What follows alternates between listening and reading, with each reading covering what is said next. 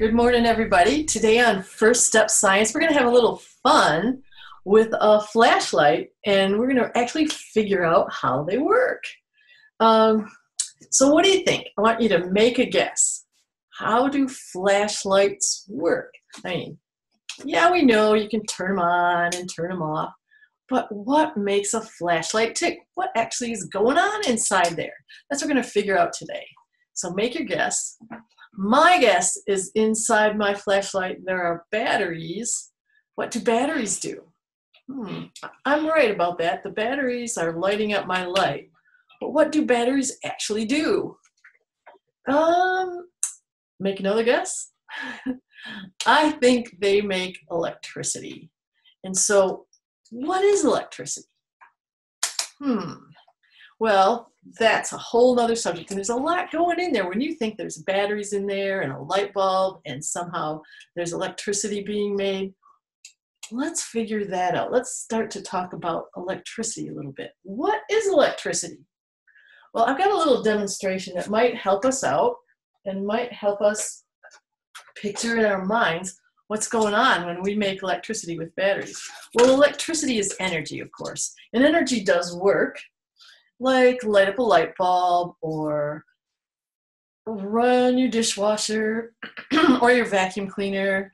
Um, you switch the light on, you switch the light off every time you go into a dark room. But what actually is electricity? Well, electricity um, starts when there are, it's made out of up of atoms. And atoms are so small, you can't even see them.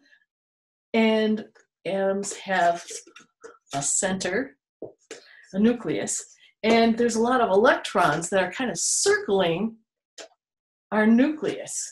And you know, they go around and around at crazy, crazy speeds, just like I'm doing this with the pie pan.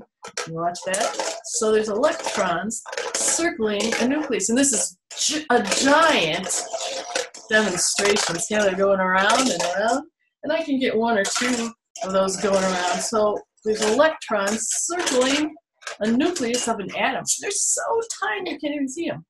So when we make electricity, those electrons, instead of going around and around the nucleus, they jump. And they jump from atom to atom and they start to form a path. So I'm going to make a little path out of a cardboard tube, and I dropped one of my ping pong balls on the floor, of course, and they all end up flowing from atom to atom in a path or a line. So here we go. We're going to make some electrons flow, jumping from atom to atom in a line. So that's called a current. And so we've made some electricity by getting the electrons to flow in a straight path. So that's what electricity is, and that's what the batteries do to light our flashlight. Wow, so that's that's a lot already. so um, what else? Well, when I take a look at my flashlight, and and Tom, um, I know that I sent you a picture of a flash, the inside of a flashlight. Can you put that up on the screen for us?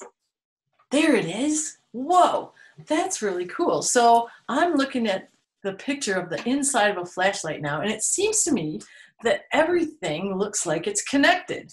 I see a little spring at the end. I see the light bulb there, and in the middle there's batteries, and they're all touching each other. And of course, there's a switch right in the middle that turns it on and off. And I think the key word for that is everything is connected.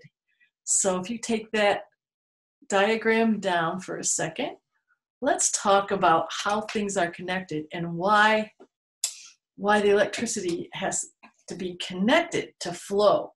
Okay, so everything's, there's a wire touching metal and a nub inside the flashlight, and I am going to move. There we go. Um, so let's talk about why everything's connected. And I'm going to do a little diagram here on my table with um, my glue stick. And let's say there's a light bulb at the end of my, this is just a regular light bulb, at the end of my flashlight. Of course, there's a light bulb in your room. And I'm going to stick this down to my paper and there's my light bulb, and you can see it on my paper. And in this case, we're going to use a power source of electricity, and that's the battery. And I'm going to stick that down to the other part of my paper because that's going to make the electricity to light my light bulb. But they're not connected. So what do we do? We get a marker out and we make a connection from one end of the flashlight all the way to the light bulb and all the way back again to the other end of the battery. So if you can see that, I drew my wires. And that's a circuit. So that causes the electric, remember when we did the ping pong balls down the tube? That causes the electrons to flow through the wire to the light bulb. And they've got to have some place to go to, a path to go to, a round path, back around again to the battery, and that's called a circuit, and it's all connected. So that's what's happening inside your flashlight.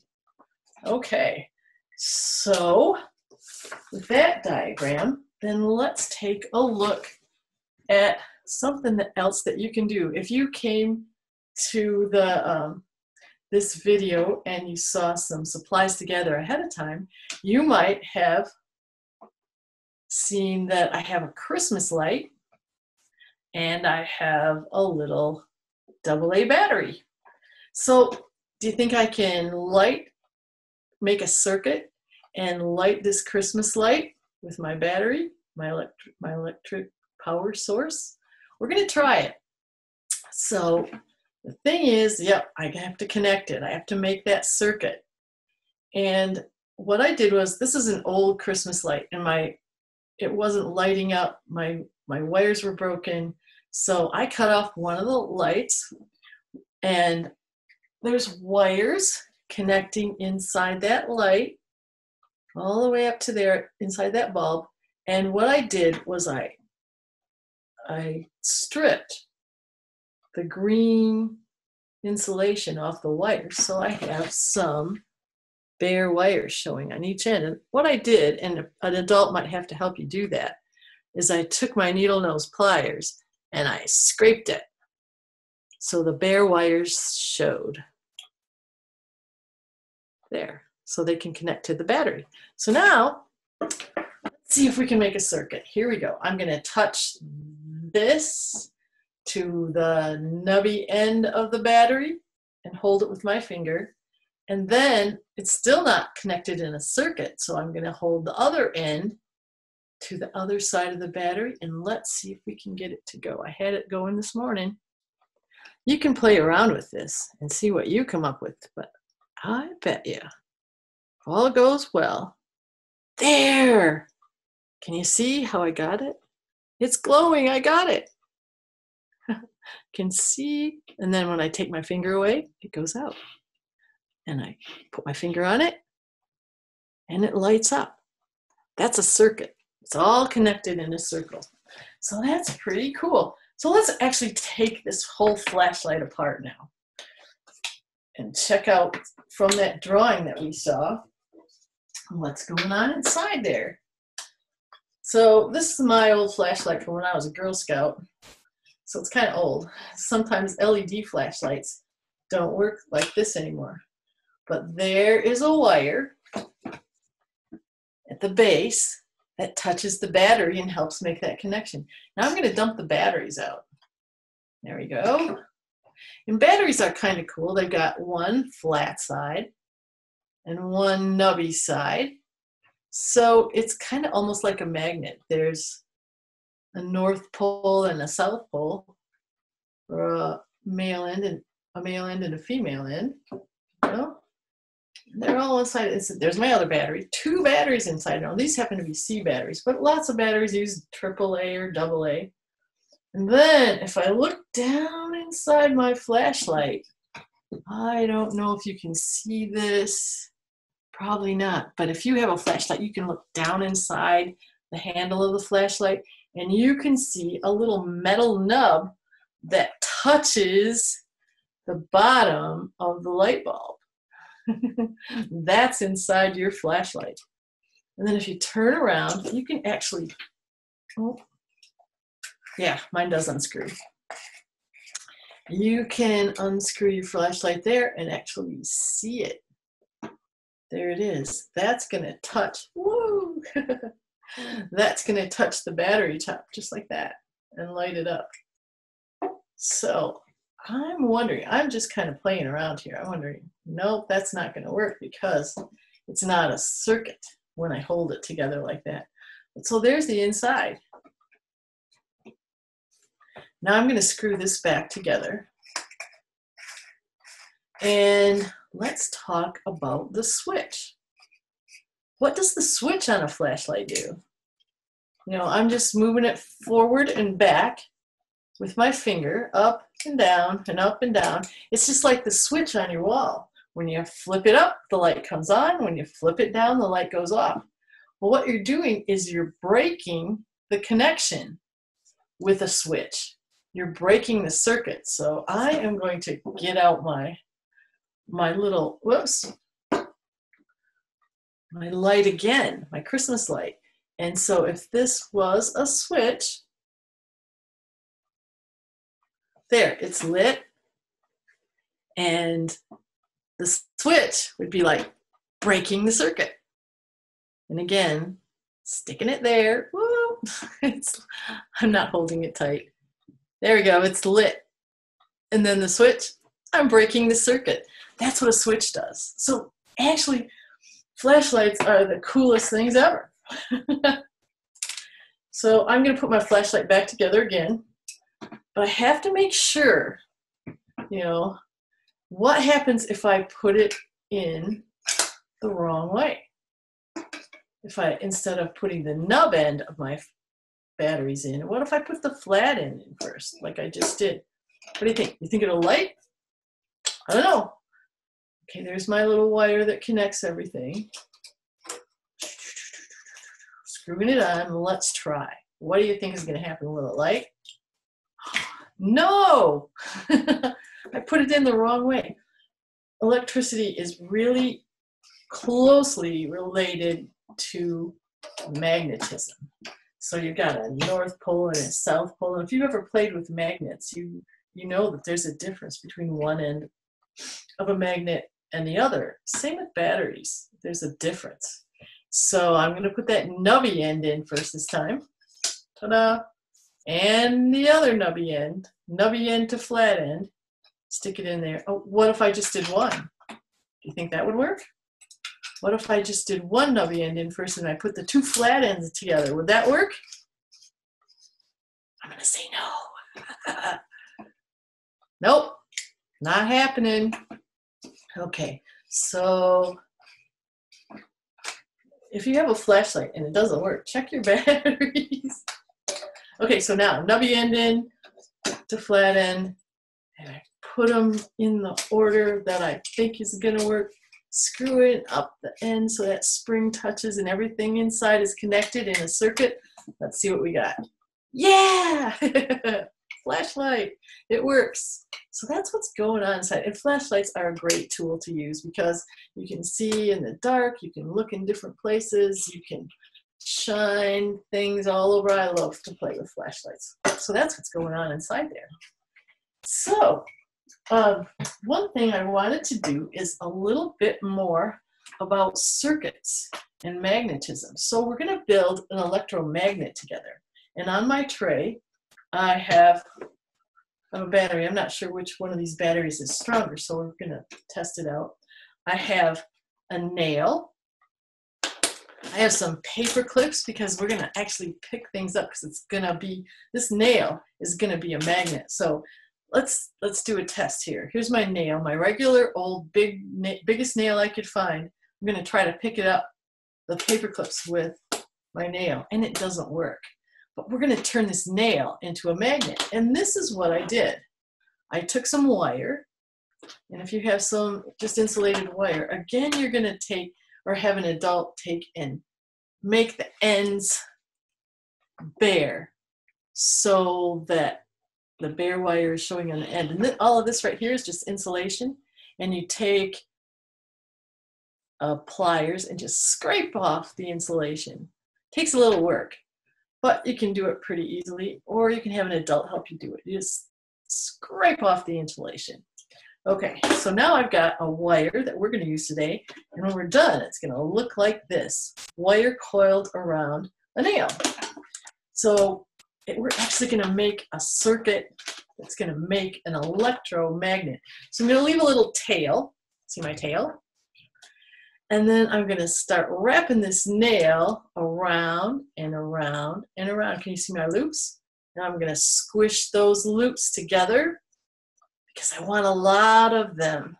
The electrons are going to flow through this wire when we connect it up to a battery and that's going to create a little bit of magnetism. And we'll see if I can pick up my paper clips. So I'm wrapping and wrapping and squishing and squishing. with what I've got. Little bit more. Wrapping and wrapping and squishing and squishing. Whoop. Here we go. Do, do, do, do. Round and around. You think that's enough? I hope so. Well, we're to do a couple more just for, just cause. and then we're to connect it to our power source, our energy source, our batteries.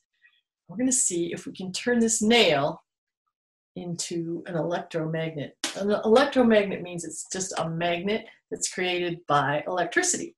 So here we go. We're going to try this battery first because I think this is my best one. And I'm going to touch the end of the bare wire to the nubby side of my battery. And then I'm going to touch the other end to the flat side. Now, let's see. See, so there's my circuit, around and around and around. Hopefully, the electrons are flowing through this wire, through the wire, through the battery, and back, the circuit. Okay, so let's check it out. Did we get this? Oh, check it out. I can pick up a paper clip. So that means we've created an electric current that's made this whole nail into a magnet. Ta-da, so you can try that at home. I'm gonna do it again. And that is the end of our first step science today. It's all about lighting things up and creating circuits and figuring out how flashlights work. Hope you had a good time today. Join us again next time. Bye. Well, thanks for everybody for joining us today. We appreciate you being here. And if you're catching this video later, um, we hope that you will join us live when we do this program again. We do First Step Science every Friday at 11 a.m. So we're using and creating scientific tools and exploring our world. If you create a, a cool circuit, you can show us a diagram of what you made or take a picture and send it to us. We'd love to see that. We're on social media, so we'd love to see anything that you are creating. We also hope to see you for our other programs. We're doing Get Crafty, so we're crafting and getting messy and creating cool stuff every Tuesday at 11 o'clock. That's another live interactive program. And on Thursdays, we're telling stories, whether they're stories in the sky or, or rhyming songs. Um, every Thursday at 11 a.m., we're doing that live, and there's usually a hands on craft that goes with that. So these are all at 11 o'clock. They're all live, and they're all hands on and interactive. Join us for any of those by going to greatlakeskids.org, clicking on the offerings, and you can see all of our programs right there. We'd also like to encourage you to donate to the Children's Museum. If you're able to give during this time, we appreciate any donations that uh, you're able to give. If you want to find more information about donating, you just go to that same website, greatlakeskids.org slash donate, and there's information on how to donate, where your money goes, and a link to do so right there. So again, we hope to see you soon, and thanks for joining us. And until next time, we'll say goodbye. Bye. Bye.